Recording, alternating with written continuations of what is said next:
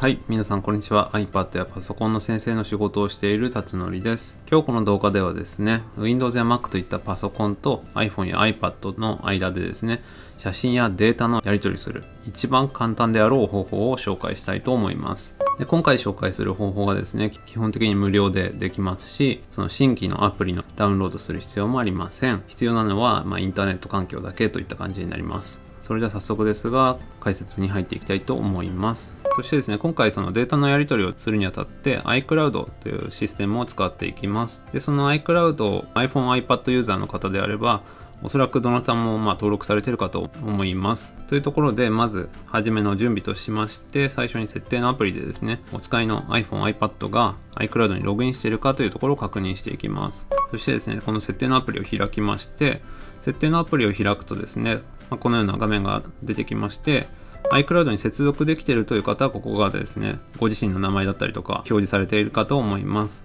で、サインインできてない方は、ここになんかサインインしてくださいみたいな画面が出てるかと思います。なので、もしそのサインインできてない方は、そこでサインインの手順を進めていってください。Apple ID とですね、パスワードを入力することで、そのサインインが完了します。で、iCloud にサインインが終了しましたというところでですね、次にパソコンの方の画面に移っていきたいと思います。それでですね、パソコンを開いていただいたら、まずその Google Chrome や Edge ですかね、といった Web ブラウザを開いてください。で、Web ブラウザをを開いたら、ここにそのウェブブラウザの検索窓にですね、iCloud ログインなどと入力して検索をかけてください。で、iCloud ログインといった感じですね、検索をかけると、まあ、2番目ぐらいでですね、iCloud のサイトが出てきます。で、その iCloud のサイトを開いてください。そしてですね、iCloud のサイトを開くと、まあ、こんな感じで iCloud でサインインという形で Apple ID とパスワードが求められます。で、ここに入力する Apple ID なんですが、そのお使いの iPhone や iPad で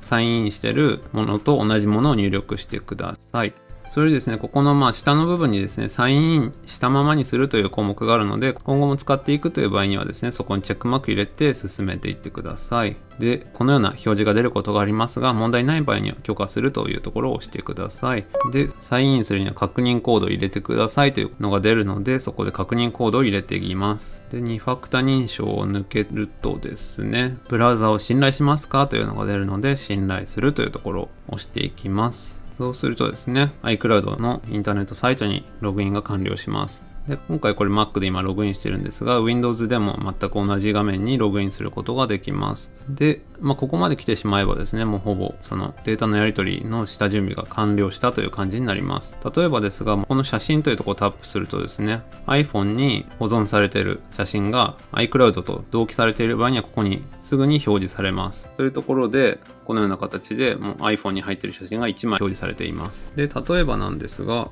こう iPhone で写真を1枚撮りました。そして写真のアプリを開きますと。そうするとですね、まあ、今 iPhone 側には2枚写真が撮られている状態となります。でこのような形で1項目のアップロード中というところでですね撮った写真が iCloud に同期されてパソコンの方にもすぐに表示がされるといった感じになります。でこの状態ですとこの写真がですねインターネット上に保存されている状態となります。なのでパソコンには現状まだ1枚も写真が入ってないという状態になります。なのでこのインターネット上にある iCloud 上にある写真をそのパソコン Windows だったりとか Mac にダウンロードしたいという時は画像を選んでいただいた上でその画面右上にあるダウンロードのボタンですね。それをクリックするとデータがダウンロードされます。でダウンロードのフォルダに写真のデータがダウンロードされてきたことが確認できます。といった感じで写真のやり取りが非常に簡単にできます。で逆にですねパソコン側から iCloud 上だったりとか iPhone や iPad 上に写真を送ってやりたいという時はこのですねこの iCloud 写真というところに JPEG のですね画像をこのようにドラッグドロップなどでアップロードすると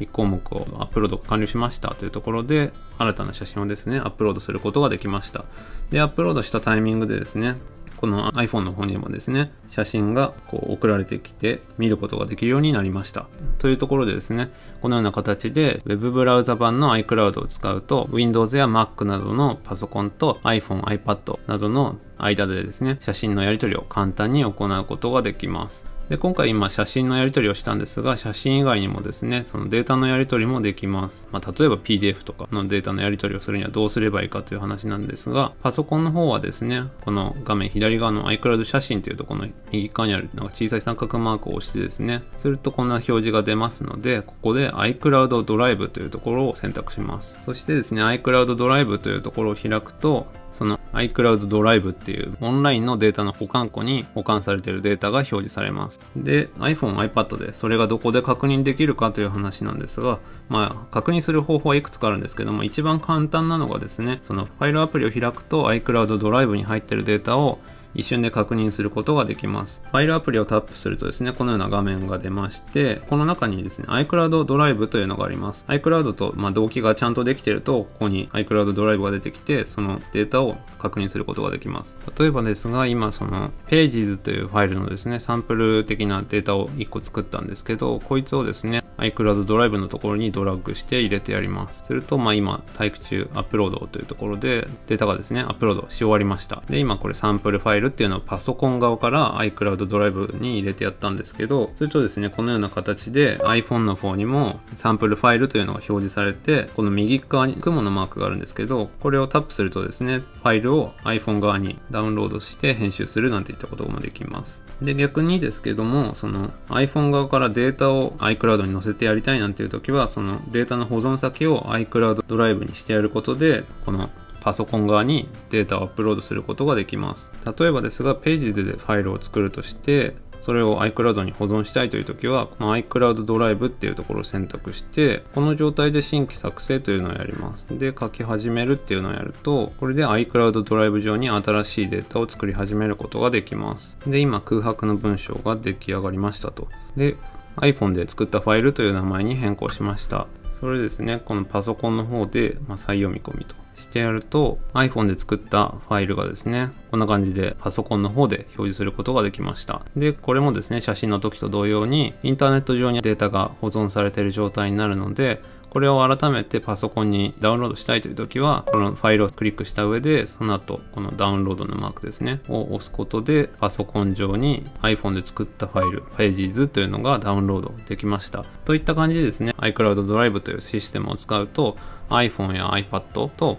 パソコン、まあ、Windows でも Mac でもいいんですけど、の間で写真やデータのやり取りが簡単に行うことができます。そしてですね、今回ここまで解説してきましたが、まあ、何かと分かりづらい部分もあったかなというところで、質問などあればコメント欄の方にいただければと思います。それではまた別の動画でお会いしましょう。バイバイ。